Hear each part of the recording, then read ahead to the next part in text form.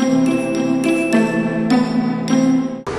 दोस्तों, आज हम आपको बताते हैं कि कैसे जो गोल्ड लोन का बिज़नेस है, स्टार्ट कैसे किया जाता है और यह किस प्रकार हमें लाभ का दे सकता है। सबसे पहले अगर हम गोल्ड लोन का बिज़नेस स्टार्ट करना चाहते हैं तो हमें आरबीआई के दिशा निर्देशों का पालन करना पड़ेगा। भारतीय रिज़र्व बैंक ऑफ़ इंडिया ने जो दिशा निर्देश गोल्ड लोन स्टार्ट करने के लिए शुरू किए हैं अगर हम उस पर खरा उतरते हैं तो हम गोल्ड लोन का बिज़नेस स्टार्ट कर सकते हैं। नंबर दो, इसको स्टार्ट करने के लिए एक तो हमें इंटरेस्ट फिक्स करना पड़ेगा।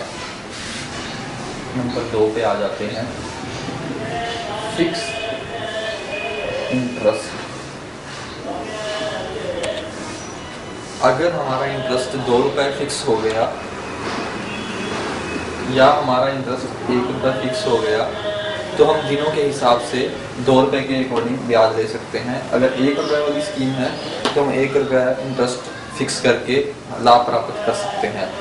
इसके साथ ही हम सिक्योरिटी के रूप में गोल्ड भी ले सकते हैं।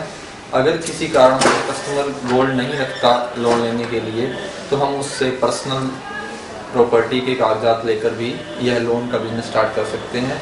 इसके साथ ही गोल्ड लेने का मतलब है कि हमारे पास एक सिक्योरिटी आ गई है।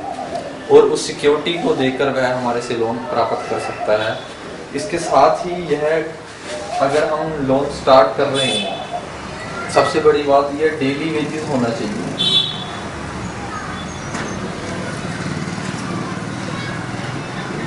डेली वेजेस का मतलब है, डेली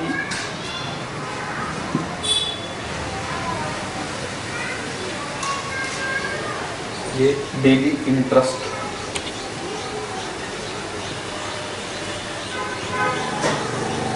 डेली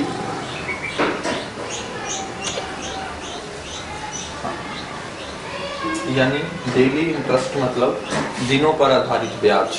जितने दिन हम लो कैश यूज़ करेंगे, उतने दिनों के हिसाब से ब्याज दिया जाएगा। इन तीनों कंडीशनों पर अगर हम खराब करते हैं तो हम गोल्ड लोन का बिज़नेस स्टार्ट कर सकते हैं, जो कि एक फ़ायदे का सौदा।